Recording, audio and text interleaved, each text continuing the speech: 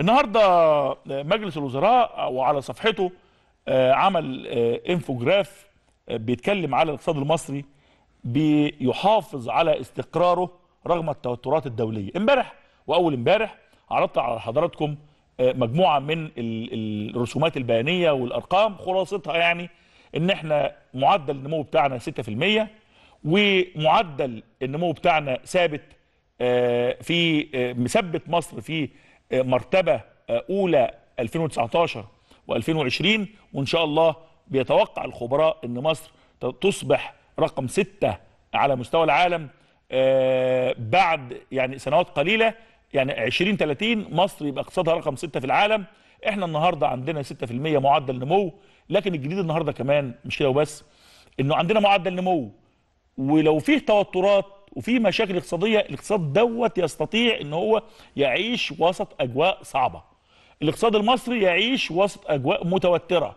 خلاص الاقتصاد المصري زي ما بيقولوا آه، من كتر الشقة بيتحمل. الاقتصاد المصري مش اقتصاد آه، طري مش اقتصاد غض لا اقتصاد قوي يستطيع إن هو يجابه ويواجه في أصعب وأحلك الظروف. الإنفو بتاع مجلس الوزراء بيقول إنه أهو قدامنا أهو. الاقتصاد المصري يحافظ على استقراره رغم التوترات الدولية. بيقول آه، هذا التقرير إنه عندي نمو الاقتصاد المصري طالع أهو أول أول رسمه عندي. العجز في مصر بينزل أهو نسبة الدين إلى الناتج المحلي الإجمالي بتنزل طبعا. خدوا بالكم نمو الاقتصاد المصري كان آه، من 2011 كان أربعة وشوية وصل ل 2 وشوية في 2013 النهارده واصل ل 6% اقتصادنا واصل النمو اللي اتكلمت عليه امبارح وأول امبارح 6% العجز المالي في مصر الحمد لله يعني عندي فائض عندي فائض أولي في الموازنة. لو مجنب الديون اللي بيخش لي واللي بيطلع عندي فائض 2% اسمه فائض أولي. لو أنا لو أنا جنبت الديون التاريخية اللي عندي. نسبة الدين إلى الناتج المحلي الإجمالي نسبة الدين كان عندي 100 و آه، 8% 107% النهارده وصلنا لكام؟ 90% عجز الحساب الجاري الحمد لله منخفض. احتياطات العملات الأجنبية كان عندي وصلت ل 14 فاكرين؟ في الأيام السوداء كنا 14 مليار في البنك المركزي ما يكفوناش دواء ولا قمح. النهارده الحمد لله داخل على قربت على 50 مليار دولار احتياطي.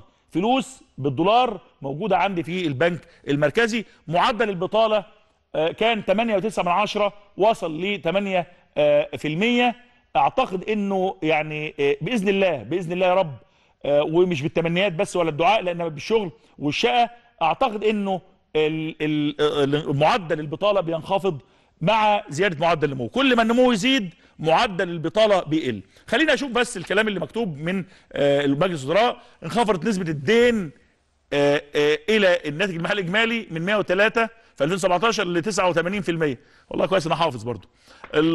انخفض العجز المالي في مصر من 12 بقى آه، وصلنا النهارده ل 7% آه، معدل النمو 5.8 من عشرة 6% زي ما قلنا الحمد لله. أهو.